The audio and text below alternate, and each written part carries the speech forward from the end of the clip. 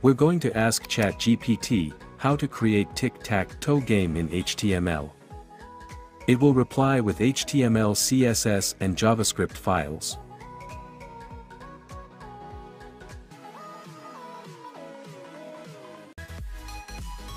Let's copy the HTML code. Create a HTML file and paste the code in it.